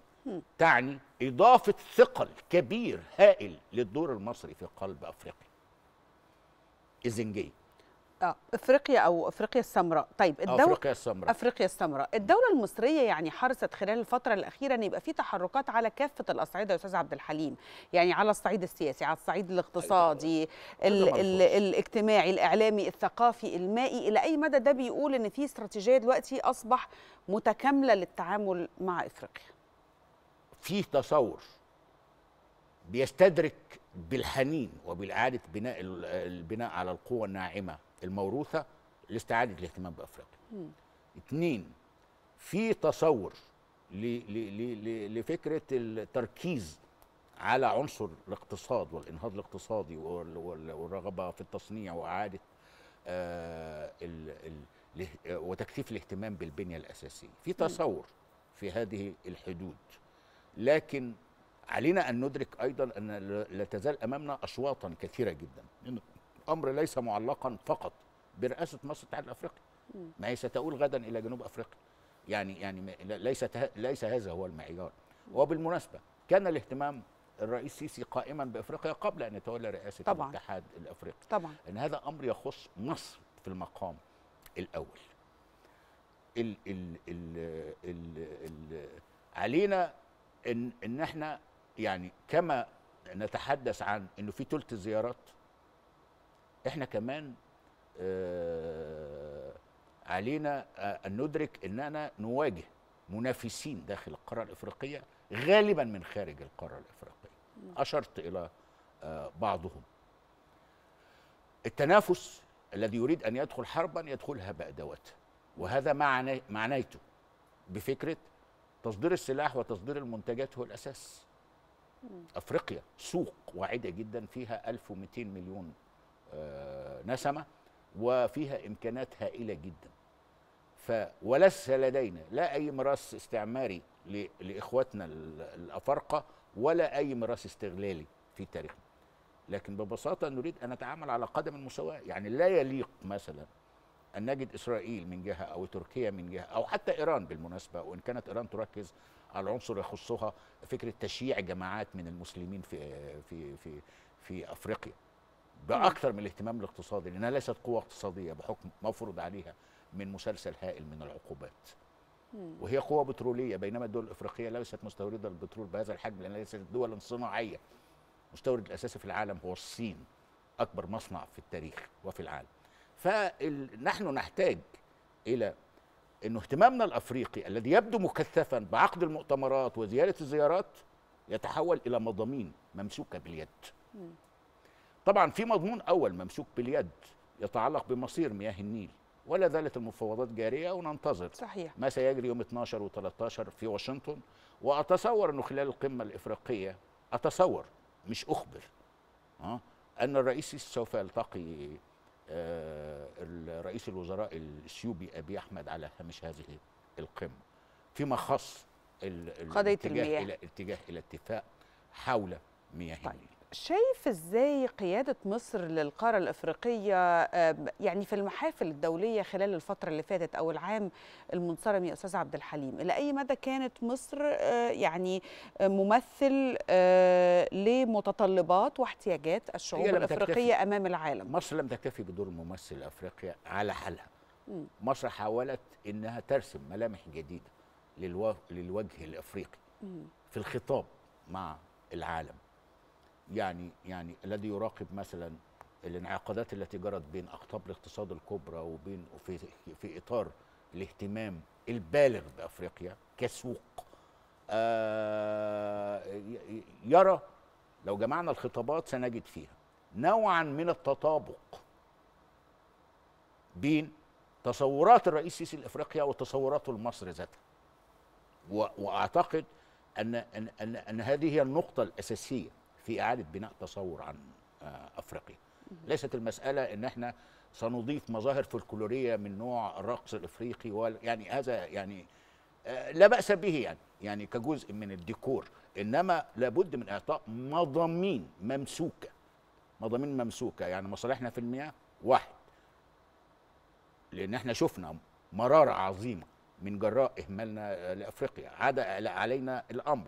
اكتفينا بس بأنهم خايفين مننا. ونحن نضعف شيئا فشيئا فشيئا فشيئا إلى أن فوجئنا بأنه لأول مرة في تاريخ النيل يعقدون اتفاقا في غيبتنا. ولا نستطيع. يعني عادت مصر في 2017 حضرت الاجتماع الخاص بدول حوض النيل بعد مقاطعة سبع سنوات. لكي تحاول إجراء تعديل على اتفاقية عن تيبي ولم يتم الأمر إلى الآن. مصر اكتفت إن هي والسودان والكونغو ودول ودول أخرى اكتفت بعدم التوقيع إلى الآن. لا زالت مشكلة معلقة. كانت هي المسمار الأساسي أو كانت هي حجر الأساس في مشكلة سد النهر. أيام مبارك اعيد وأكرر اللي بقاله اللي, بيبلغوا بتدفيه الأمر وتسفيهه حد. يقول لك السكان بيخافوا من عمر سليمان. يعني كلام الحقيقة بائس. انتهى بنا إلى أزمة. نتمنى طبعا ولأنه لا مصر ليس لديها خيار آخر أن تنتهي بالحفاظ على الحقوق الأساسية لمصر في مهنه قريبا. ال- ال- النقطة ال- ال- ال- الجوهرية التي أريد أن أركز عليها لأن أعرف أن في كثافة يعني في الإعلام في الاهتمام بأفريقيا أنا أريد أن يعني أضيف زوايا أخرى. أنتوا ال- ال- ال- الدول حجم الدول اللي أعطت مصر صوتها في مجلس السلم والأمن الأفريقي بعد أن كان هذا المجلس نفسه هو اللي اللي قرر تجميد عضوية مصر يعكس طبعا طبيعة التحول. 43 من 44 التحول دولة. الذي جرى ال 43 دول أو ال 40 أنا أريد أن أقلب السؤال. قد إيه علاقات مصر الاقتصادية؟ قد إيه طاقة مصر التصديرية لل 43 دولة دول؟ هذا هو القياس. الباقي تفاصيل. أيضا. فال ال ال أنت في النهاية فكرة التبادل أو التكامل أو التجارة قايمة على إنه في حد عنده اللي مش عند التاني واللي مش عند التالت وكذا. فيحدث التكامل. الاقتصادات المتماثلة لا يحدث بينها أي تكامل ولا تجارة واسعة جدا لأنه لا يتوفر من مضمون للإجراء ال- التجاري. حين كانت مصر سابقة بمراحل كان عندها ما ليس عند الآخرين. ألفت النظر على سبيل المثال مثلا الرئيس السيسي عقد في الفترة الأخيرة اجتماعات موضوعها القطن القطن. القطن ده للتذكير وليس للنكاية. رئيس أيزنهاور كان بيطلب من الرئيس عبد الناصر في الخمسينات أن يقلل من تصدير القطن المصري لإتاحة فرصة لوجود القطن الأمريكي في الأسواق الأوروبية. سنة 1969 طبعا أيزنهاور كان في الخمسينات أنا بتكلم عن الستينات بعد هزيمة هزيمة ساحقة عسكرية في 67 أنا مش بقول نكسة بالمناسبة. لا أستخدم هذا التعبير. لما مصر بتقوم في الفترة سنة 69 بعد سنتين فقط من عدوان 1967 والهزيمة الساحقة كان إنتاج مصر من القطن 11 مليون قنطار متري. ليس للنكاية إنتاج مصر الآن واحد ونص مليون قنطار طن. وبعد ذلك نتحدث هو إحنا رحنا فين. في جناية رهيبة جرت على القدرات المصرية آه، وده كان طبعا أعلى إنتاج للقطن في تاريخ مصر كلها. فهنا أنت بتتكلم دلوقتي بركة إن كوت ديفوار قالت بتحتفل بتجاوزها أرقام إنتاج القطن. أهلا وسهلا. لكن علينا أن نتذكر أن القطن المصري بلا مثيل في العالم كله حتى في أفريقيا. علينا أن نتذكر إنه الجناية التي جرت في مصر نفسها إن مصانع الغزل والنسيج وكذا أجبرت على إنها تستخدم الأقطان قصيرة التيلة المستوردة وتترك القطن المصري جانبا وانها تركب ماكينات شغالة على القطن قصير التيلة. جنايتنا في حق أنفسنا؟ هي جوهر جنايتنا في حق علاقتنا بإفريقيا. هذا ما قصدته حين قلت ليس لازالت أمامنا أشواط آه. لتعميق علاقتنا بإفريقيا وإعطائها مضامين راسخة وليست فقط كلمات تقال في المحافل. مم. يعني هي دي النقطة. فنحتفل نعم بما أنجزناه في استعادة علاقتنا بإفريقيا. آه. هذا مطلوب لأنه ببساطة في أشياء صغيرة جدا تبدو صغيرة حين تتراكم يمكن أن تفتح مسارا جديدا كبيرا متزا- متزايد الاتساع مع الوقت. تمام. لكن إحنا لي- أمامنا مضامين أخرى. جوهرها بنفس نظرية الرئيس السيسي إن مصر تتحول إلى مصنع كبير في أفريقيا مصنع أفريقيا الكبير. كويس. خلينا نروح للعام اللي كانت مصر فيه رئيسة الاتحاد الإفريقي وأهم المكاسب اللي نقدر نقول اللي تحققت لإفريقيا من هذا العام. يعني مثلا على المستوى الاقتصادي مصر خلال هذا العام أخذت على عاتقها العمل على جذب استثمارات للقارة الإفريقية. شايف الجزئية دي إزاي أستاذ عبد الحليم؟ هذه الجزئية جذب الاستثمارات آه، للقارة الإفريقية. هو في فعلا استثمارات في القارة الإفريقية. حتى قبل هذا النداء. بس إيه نمط هذه الاستثمارات؟ المستثمر الأساس في أفريقيا الآن هو الصين.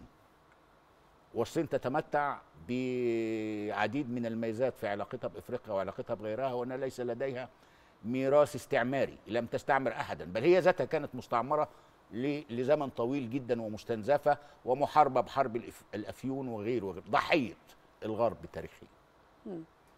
مصر آه، الصين هي رقم واحد الآن. لما نيجي نتكلم مثلا عن علاقة مصر الصين هي رقم واحد في في تجارة مصر الخارجية أيضا. ميزة الصين إضافة لغياب الميراث الاستعماري في علاقتها بال... بال... بأفريقيا إنها أيضا ب... ب... يعني بتتوسع في تقديم القروض والإنشاءات. يعني تقريبا في عدد كبير في عشرات الدول الأفريقية ستجد الإنشاءات الصينية في كل مكان إحنا آه على على على قاعدة الاتساق كمصر مثلا الدول الأفر... الدول ال- الغربية المستعدة لتقديم قروض وإعانات تتحجج دائما بإن إحنا قدمنا لأفريقيا أقصد أفريقيا جنوب الصحراء الكثير جدا مليارات عشرات المليارات وذهبت مع الريح. بالفساد.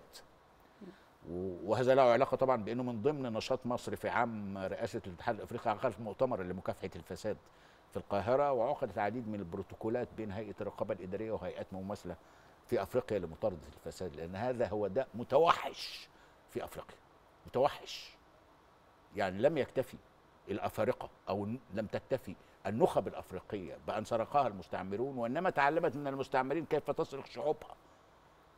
ثم تحصل في نهاية الخدمة على آه، حق إقامة آمن في إحدى العواصم ال- ال- ال- الغربية. فهنا ال ال الأمر آه، في جذب الاستثمارات متعلق أيضا كما أن مصر تعاني أو لا زال الرئيس السيسي يحاول تجاوز هذه ال- النقطة في جلب الاستثمارات الأجنبية المباشرة خارج قطاع البترول وقطاع الغاز. لأنه دائما طول الوقت في كل الأوقات الحقيقة هذا القطاع نشط في جلب الاستثمارات لأن الشركات الكبرى تحصل منه على فوائد هائلة جدا. كل الاتفاقات قد تكون لصالحها. إنما خارج هذا القطاع ما اعنيه بالاستثمار الأجنبي المباشر لا زالت مصر عندها مشكلة في ده. كما أن أحد العوائق الأساسية في جلب الاستثمارات هي الفساد حتى في مصر فهو العائق الأساسي لجلب الاستثمارات الخارجية.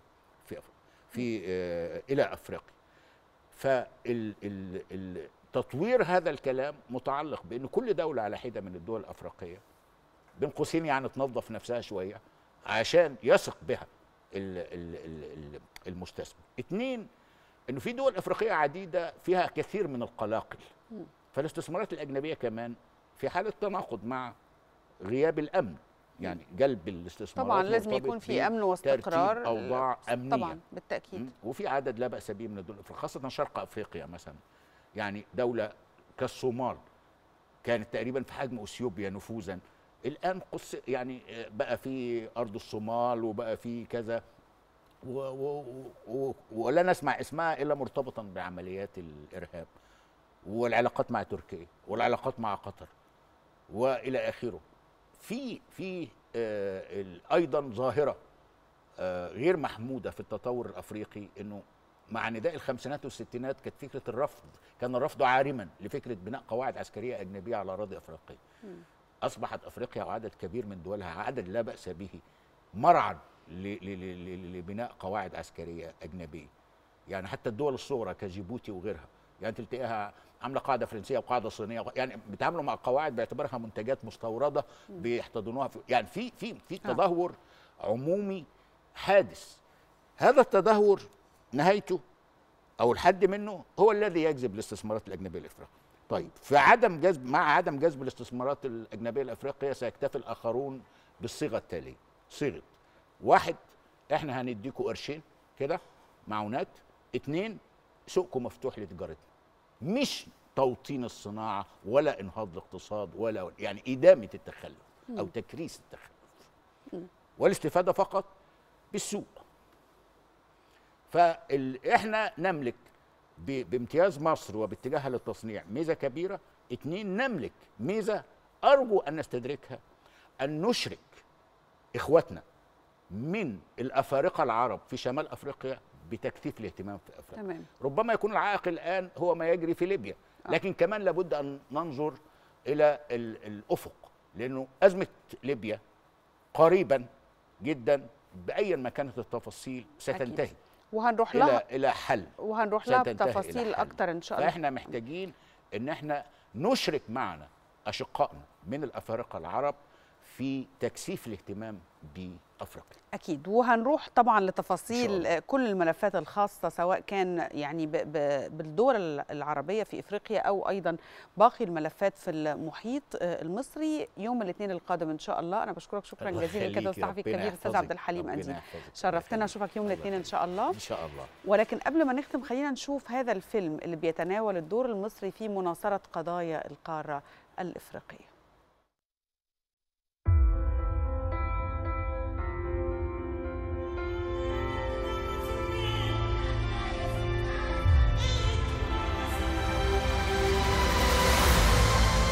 مصر.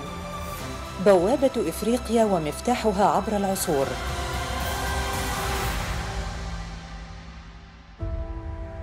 ظلت مصر دائما الداعمة والمناصرة للقضايا العادلة للقارة الإفريقية. إن الكثير مما يجري اليوم في إفريقيا إنما هو في حقيقة أمره من بعض مظاهر الاندفاع نحو التحرر الاقتصادي. ولسنا نرى أساسا قوميا أمتن من هذا الأساس ولا أكثر. في العام 2014 ومنذ تولي السيد الرئيس عبد الفتاح السيسي المسؤولية عظمت مصر جهودها تجاه القارة الإفريقية في كل المجالات وفي مجال حماية السلام والأمن بالقارة. في التاسع من فبراير عام 2019 يتولى الرئيس عبد الفتاح السيسي رئاسة الاتحاد الإفريقي ليؤكد عزم مصر على المضي في تحقيق أحلام القارة وطموحاتها. أدعوكم أشقائي قادة إفريقيا للعمل معا على إعادة إحياء وتفعيل سياسة قارتنا الإطارية لإعادة الإعمار والتنمية وانطلقت الكفاءات المصرية في ربوع إفريقيا لتساهم بجهود كبيرة في البناء والعمران والتنمية في مختلف المجالات.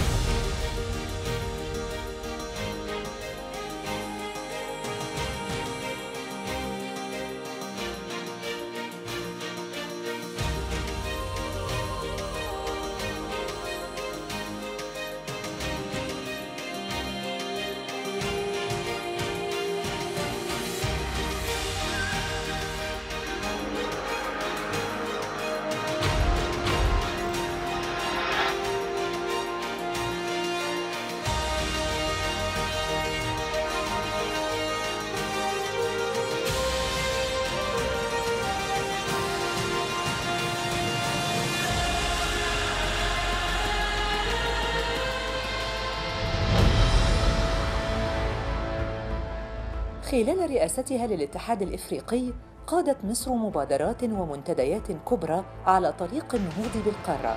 منها إطلاق المرحلة التشغيلية لاتفاقية التجارة الحرة الإفريقية التي توجت مساعي القارة وطموحاتها في التكامل والتنمية. مبادرة إسكات البنادق التي حصلت على الاهتمام السياسي العالمي وتأييد مجلس الأمن بالإجماع. اعتمد الاتحاد الإفريقي مبادرة إسكات البنادق بحلول عام 2020 التي تهدف إلى القضاء على كافة النزاعات والصراعات في القارة مع حلول عام 2020 من خلال إعداد أطر تنفيذية واضحة تعالج جذور النزاعات وتساهم في إعادة الإعمار والتنمية في فترة ما بعد انتهاء الصراع. المنتدى الاقتصادي لإفريقيا نوفمبر 2019 بالعاصمة الإدارية والذي ركز على دور القطاع الخاص في التنمية وتعزيز فرص الاستثمار وسبل تمكين المرأة بإفريقيا. منتدى أسوان للسلام والتنمية المستدامة ديسمبر 2019 وفي المجالات الطبية والعلاجية بدأت مصر في تنفيذ مبادرة الرئيس عبد الفتاح السيسي لعلاج مليون إفريقي من فيروس سي وتوفير الجرعات العلاجية اللازمة.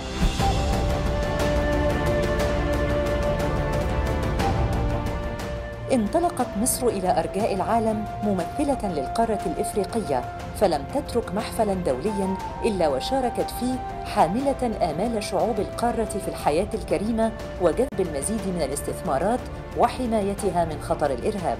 إن إفريقيا اليوم محط أنظار العالم ونجاح منطقة التجارة الحرة القارية هو الاختبار الحقيقي لتحقيق طفرة اقتصادية تلبي تطلعات شعوبنا في العيش الكريم الآمن. مؤتمر ميونخ للأمن.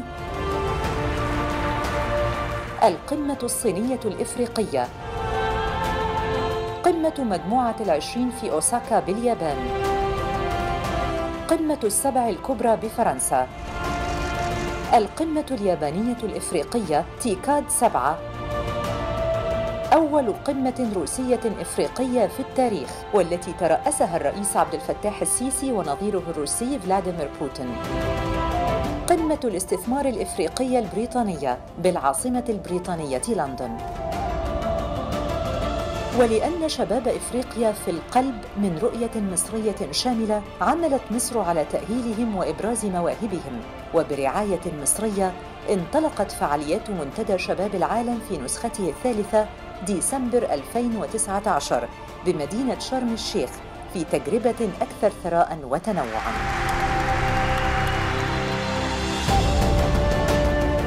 إفريقيا 2063 أجندة رسمها وحددها الرؤساء والقادة الأفارقة لخلق إفريقيا جديدة تنعم بالأمن والازدهار تتكامل دولها وتتوحد أهدافها لتصبح إفريقيا قوة نافذة الإرادة. ولقد قطعنا بالفعل شوطا طويلا على مسار أجندة الاتحاد الإفريقية 2063 وتحقيق أهداف التنمية المستدامة والنهوض بالقارة الإفريقية وأصبحنا على الطريق الصحيح نحو حقبة جديدة واعدة تتسم بالتنمية والتقدم بدلا من الركود الاقتصادي والنزاعات.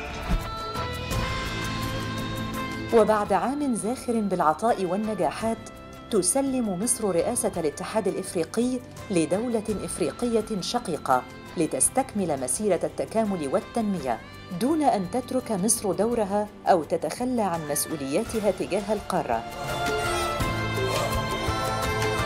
فمصر بوابة إفريقيا ومفتاحها، وإفريقيا دائماً في قلب مصر.